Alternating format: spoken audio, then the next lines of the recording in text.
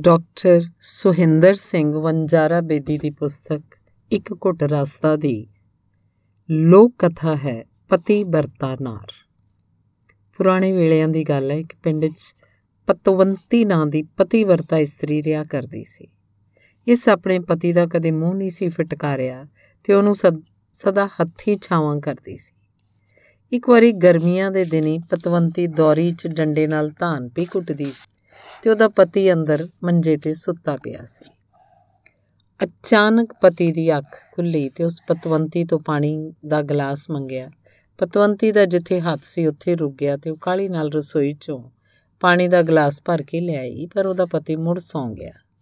ਪਤਵੰਤੀ ਨੇ ਸੁੱਤੇ ਪਏ ਪਤੀ ਨੂੰ ਜਗਾਉਣਾ ਯੋਗ ਨਾ ਸਮਝਿਆ ਤੇ ਉਸੇ ਤਰ੍ਹਾਂ ਹੱਥ ਵਿੱਚ ਗਲਾਸ ਫੜੀ ਖਲੋਤੀ ਰਹੀ ਕਿ ਹੁਣੇ ਜਾਗਣਗੇ, ਪੀਣ ਲਈ ਪਾਣੀ ਦੇਾਂਗੀ ਤੇ ਜਦੋਂ ਧਾਨ ਕੁੱਟਦਿਆਂ ਪਤਵੰਤੀ ਤੋਂ ਪਤੀ ਨੇ ਪਾਣੀ ਦਾ ਗਲਾਸ ਮੰਗਿਆ ਸੀ, ਉਦੋਂ ਉਹਦਾ ਹੱਥ ਉੱਪਰ ਉੱਠਿਆ ਹੋਇਆ ਸੀ। ਪਤਵੰਤੀ ਨੇ ਉੱਥੇ ਹੀ ਛੱਡ ਦਿੱਤਾ, ਕਿਉਂ ਜੋ ਹੇਠਾਂ ਰੱਖਣ 'ਚ ਥੋੜੀ ਦੇਰ ਹੋ ਜਾਣ ਦਾ ਡਰ ਸੀ।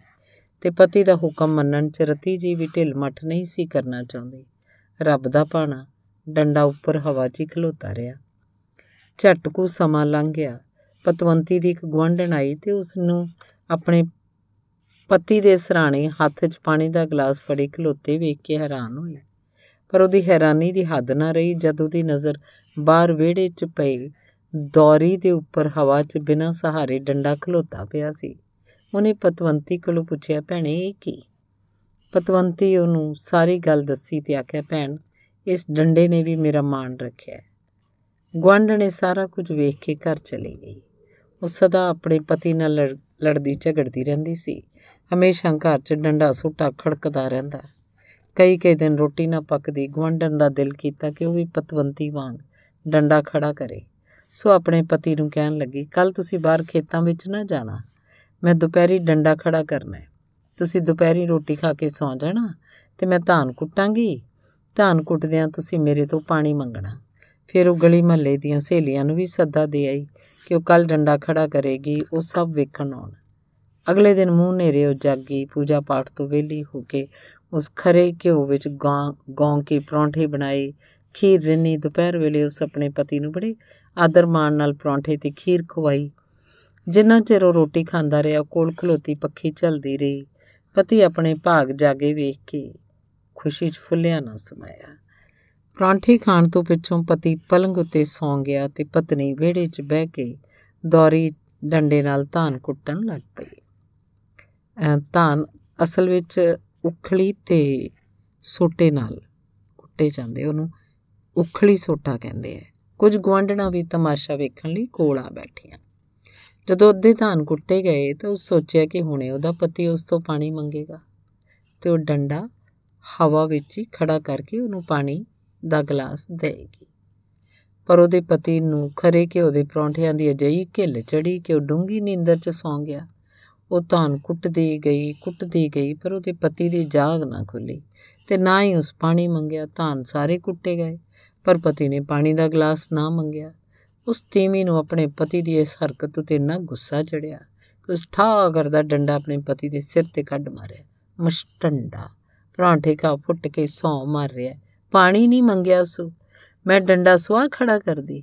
ਪਤੀ ਚੀਕ ਮਾਰ ਕੇ ਉੱਠ ਖਲੋਤਾ। ਖੂਬ ਰੌਲਾ ਪੈ ਗਿਆ। ਗਲੀ ਮਹੱਲੇ ਦੇ ਲੋਕ ਵੀ ਆ ਇਕੱਠੇ ਹੋਏ।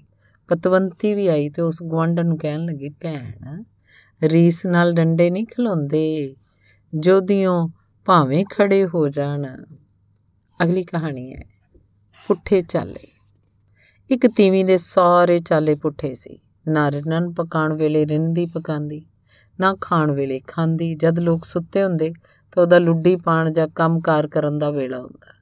ਜਦੋਂ ਲੋਕ ਕੰਮ ਕਰਦੇ, ਉਹ ਕੁਝ ਅੱਜੀ ਲੰਮੀਆਂ ਤਾਣ ਸੁੱਤੀ ਹੁੰਦੀ। ਇਸ ਉੱਤੇ ਮੁਸੀਬਤ ਹੈ ਕਿ ਜੋ ਕੁਝ ਉਹਦਾ ਪਤੀ ਆਖਦਾ ਬਿਲਕੁਲ ਉਹਦੇ ਉਲਟ ਕਰਦੀ। ਸਾਰਾ ਦਿਨ ਦੋਹਾਂ 'ਚ ਡਾਂਗ ਸੋਟਾ ਚੱਲਦਾ ਰਹਿੰਦਾ। ਅਖੀਰ ਖਸਮ ਉਹਦੀ ਰਮਜ਼ ਪਾ ਗਿਆ। ਜਿਹੜਾ ਕੰਮ ਉਸ ਕਰਵਾਉਣਾ ਹੁੰਦਾ, ਉਹਦੇ ਉਲਟ ਉਹਨੂੰ ਆਖਦਾ, ਇੰਜ ਗੁਜ਼ਾਰਾ ਤੁਰਦਾ ਗਿਆ ਇੱਕ ਵਾਰ ਉਹਦਾ ਖਾਵੰਦ ਆਪਣੇ ਕਿਸੇ ਮਿੱਤਰ ਨੂੰ ਰੋਟੀ ਤੇ ਬੁਲਾਉਣਾ ਚਾਹੁੰਦਾ ਸੀ। ਉਸ ਆਪਣੀ ਜਨਾਨੀ ਨਾਲ ਪੁੱਠੇ ਢੰਗ ਨਾਲ ਗੱਲ ਕਰਨੀ ਸ਼ੁਰੂ ਕੀਤੀ।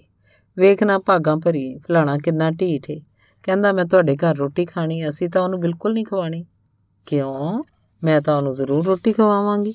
ਜੀ ਸਦਕੇ ਹੋ ਕੇ ਆਵੇ ਤੇ ਜੇ ਤੂੰ ਜ਼ਰੂਰ ਹੀ ਰੋਟੀ ਖਵਾਣੀ ਹੈ ਤਾਂ ਫਿਰ ਉਸ ਲਈ ਸੱਤਾਂ ਤੰਦੂਰਾਂ ਦੀ ਸੁਆਹ ਇਕੱਠੀ ਕਰ ਰੱਖੇ। ਚੜੀ ਪਕਾਈ ਕੁਝ ਨਾ। ਕਿਉਂ? ਮੈਂ ਤਾਂ ਉਸ ਵਾਸਤੇ ਖੀਰ ਰਿੰਨ ਸਾਂ ਪਰਾਂਠੇ ਪਕਾਸਾਂ, ਹੋਰ 100 ਖਾਤਰਾਂ ਕਰਸਾਂ। ਤੇ ਜੇ ਤੂੰ ਜ਼ਰੂਰ ਹੀ ਉਹਦੀ ਖਾਤਰ ਕਰਨੀ ਹੈ ਤੇ ਦੁਪਹਿਰਾਂ ਤੀਕ ਉਹਨੂੰ ਭੁੱਖਾ ਰੱਖੀ। ਭਲੀਏ ਲੋਕੇ, ਕੋਈ ਗੱਲ ਤਾਂ ਮੇਰੀ ਮੰਨ ਲੈ। ਕਿਉਂ? ਮੈਂ ਤਾਂ ਉਸ ਲਈ ਸਵਖਤ ਹੀ ਰੋਟੀ ਪਕਾ ਲੈਸਾਂ। ਤੁਹਾਡੀ ਤਾਂ ਮੈਂ ਇੱਕ ਨਹੀਂ ਜੇ ਮੰਨਣੀ। ਇਸ ਗੱਲਬਾਤ ਪਿੱਛੋਂ ਆਪਣੇ ਮਿੱਤਰ ਨੂੰ ਰੋਟੀ ਲਈ ਆ ਖਾਇਆ ਪੁੱਠੀ ਰੰਨ ਨੇ ਵੇਲੇ ਸਿਰ ਬੁਹਾਰੀ ਬੋਕਰ ਦਿੱਤਾ, ਸਫ਼ਾਈ ਕੀਤੀ, ਰਿੰਨਿਆ ਪਕਾਇਆ। ਸੁਚੱਜਤਾ ਨਾਲ ਸਾਰਾ ਕੁਝ ਥਾਲ 'ਚ ਪਰੋਸ ਕੇ ਆਪਣੇ ਪਤੀ ਤੇ ਉਹਦੇ ਮਿੱਤਰ ਅੱਗੇ ਲਿਆ ਰੱਖਿਆ। ਉਹਦਾ ਮਿੱਤਰ ਬੜਾ ਹੈਰਾਨ ਹੋਇਆ ਕਿ ਇਹਦੀ ਪਤਨੀ ਕਿੰਨੀ ਸਿਆਣੀ ਹੈ ਤੇ ਉਹਦੀ ਪ੍ਰਸ਼ੰਸਾ ਕਰਨ ਲੱਗਾ, ਰੱਬ ਦਾ ਭਾਣਾ, ਖੀਰ 'ਚ ਖੰਡ ਕੁਝ ਘੱਟ ਸੀ, ਖਾਵੰਦ ਨੇ ਜਦੋਂ ਖੀਰ ਮੂੰਹ 'ਚ ਪਾਈ, ਤਾਂ ਉਸ 'ਚ ਮਿੱਠਾ ਨਾ ਵੇਖ ਕੇ ਉਹਦੇ ਮੂੰਹ ਝਾਟੀ ਨਿਕਲ ਗਿਆ ਭਲੀਏ ਲੋਕੇ, ਖੀਰ 'ਚ ਖੰਡ ਥੋੜੀ ਏ, ਜ਼ਰਾ ਖੰਡ ਤਾਂ ਚੁਕਾ, ਤਾਂ ਲਿਆਈ। ਤੇ ਪੁੱਠੀ ਰਨ ਉਸੇ ਵੇਲੇ ਚੁੱਲ੍ਹੇ 'ਚੋਂ ਸਵਾਹ ਦਾ ਚੁੱਕਾ ਭਰਿਆ।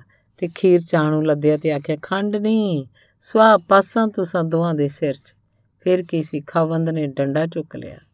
ਪੁੱਠੀ ਰਨ ਦੇ ਅੰਗ ਸੇਕਣੇ ਸ਼ੁਰੂ ਕਰ ਦਿੱਤੇ, ਚੀਕ ਝਾੜਾ ਪੈ ਗਿਆ।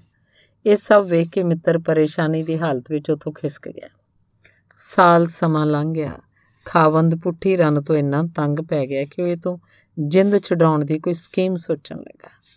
ਇੱਕ ਦਿਨ ਉਸ ਪੁੱਠੀ ਰਨ ਨੂੰ ਨੂੰ ਆਖਿਆ ਲੋਕੀ ਮੂਰਖ ਹਨ ਜਿਹੜੇ ਦਰਿਆਵਾਂ ਉੱਤੇ ਨਹਾਉਣ ਤੁਰ ਪੈਂਦੇ ਨੇ। ਤੂੰ ਕਦੀ ਨਾ ਜਾਈ। ਪੁੱਠੀ ਰਨ ਕਹਿਣ ਲੱਗੀ, ਮੈਂ ਤਾਂ ਜ਼ਰੂਰ ਜਾਸਾਂ ਤੇ ਅੱਜੋ ਹੀ ਜਾਸਾਂ। ਪਤੀ ਵੀ ਇਹੋ ਕੁਝ ਹੀ ਚਾਹੁੰਦਾ ਸੀ, ਸੋ ਦੋਵੇਂ ਦਰਿਆ ਵੱਲ ਤੁਰ ਪਏ। ਦਰਿਆ ਤੇ ਪਹੁੰਚ ਕੇ ਪਤੀ ਨੇ ਵੇਖਿਆ ਕਿ ਇੱਕ ਗਊ ਜ਼ਰਾ ਦੂਰ ਪਾਣੀ 'ਚ ਬੈਠੀ ਹੈ। ਖਾਵੰਦ ਨੇ ਪੁੱਠੀ ਰਨ ਨੂੰ ਆਖਿਆ, ਜੇ ਨਹਾਉਣਾ ਹੀ ਤਾਂ ਕੰਡੇ ਕੰਡੇ ਪਾਣੀ 'ਚ ਨਹਾ ਲੈ, ਗਊ ਡੂੰਘੇ ਪਾਣੀ 'ਚ ਹੈ। ਉਹਦੇ ਨੇੜੇ ਨਾ ਜਾਈ ਤੇ ਨਾ ਹੀ ਉਹਦੀ ਪਿੱਠ ਤੇ ਬੈਠੀ। ਪਰ ਪੁੱਠੀ ਰਨ ਨੇ ਤਾਂ ਹਰ ਗੱਲ ਪੁੱਠੀ ਕਰਨੀ ਸੀ। ਭਾਵੇਂ ਆਪਣੀ ਜਾਨ ਹੀ ਖਤਰੇ 'ਚ ਕਿਉਂ ਨਾ ਪੈ ਜਾਏ। ਸੋ ਦਰਿਆ 'ਚ ਛਾਲ ਮਾਰ ਕੇ ਸਿੱਧੀ ਗਊ ਦੀ ਪਿੱਠ ਉੱਤੇ ਜਾ ਬੈਠੀ। ਗਊ ਉਛਲ ਕੇ ਦੌੜ ਪਈ। ਕੁਝ ਚਿਰ ਤਾਂ ਪੁੱਠੀ ਰਨ ਗਊ ਦੀ ਪਿੱਠ ਉੱਤੇ ਸੰਭਲ ਕੇ ਬੈਠੀ ਰਹੀ। ਪਰ ਜਦੋਂ ਜ਼ਿਆਦਾ ਭੜਕੀ ਤਾਂ ਉਹਦੀ ਪਿੱਠ ਤੋਂ ਡਿੱਗ ਕੇ ਡੂੰਘੇ ਪਾਣੀ ਦੀ ਧਾਰ 'ਚ ਜਾ ਪਈ ਤੇ ਕਲਾਬਾਜ਼ੀਆਂ ਖਾਣ ਲੱਗੀ। ਪਾਣੀ ਉਹਨੂੰ ਰੋੜ ਕੇ ਦੂਰ ਲੈ ਗਿਆ। ਕੰਡੇ ਉੱਤੇ ਰੌਲਾ ਪੈ ਗਿਆ ਕਿ ਕੋਈ ਤਰੀਮਤ ਦਰਿਆ 'ਚ ਡੁੱਬ ਗਈ ਹੈ। ਇੱਕ ਤਾਰੂ ਨੇ ਦਰਿਆ 'ਚ ਛਾਲ ਮਾਰੀ।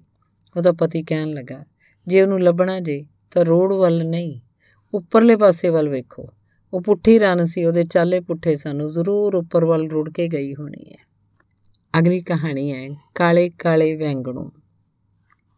ਇੱਕ ਵਾਰ ਇੱਕ ਗੱਭਰੂ ਪਰਦੇਸਾਂ ਤੋਂ ਖੱਟੀ ਕਮਾਈ ਕਰਕੇ ਵਾਪਸ ਆਪਣੇ ਪਿੰਡ ਆਇਆ ਤੇ ਅਗਲੇ ਦਿਨ ਆਪਣੇ ਸਹੁਰੇ ਪਿੰਡ ਟੁਰ ਗਿਆ। ਇਹਦਾ ਵਿਆਹ ਛੋਟੀ ਉਮਰ 'ਚ ਹੀ ਹੋ ਗਿਆ ਸੀ ਅਤੇ ਬਹੁਤਾ ਪਰਦੇਸ ਰਹਿਣ ਕਰਕੇ ਇਹਨੂੰ ਆਪਣੀ ਪਤਨੀ ਦੀ ਕੋਈ ਪਛਾਣ ਨਹੀਂ ਸੀ।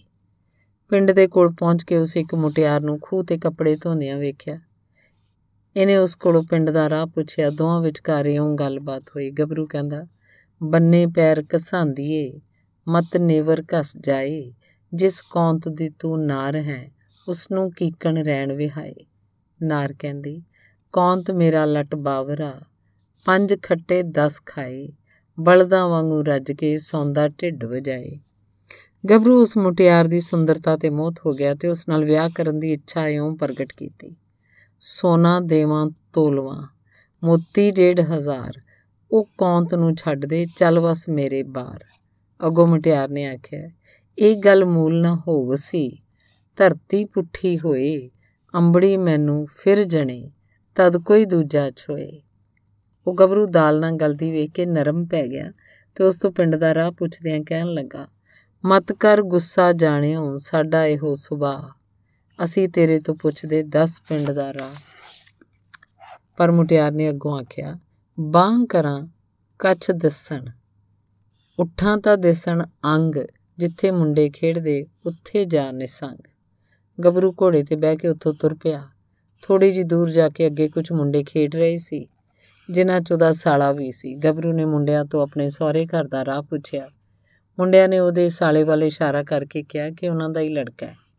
ਉਹ ਲੜਕਾ ਸਾਂਵਲੇ ਰੰਗ ਦਾ ਸੀ। ਗੱਭਰੂ ਉਹਦੇ ਨੈਣ ਨਕਸ਼ ਤੇ ਰੰਗ ਰੂਪ ਵੇਖ ਕੇ ਸੋਚਣ ਲੱਗਾ ਕਿ ਇਹਦੀ ਭੈਣ ਵੀ ਇਹੋ ਜਿਹੀ ਬਦਸੂਰਤ ਹੋਏਗੀ।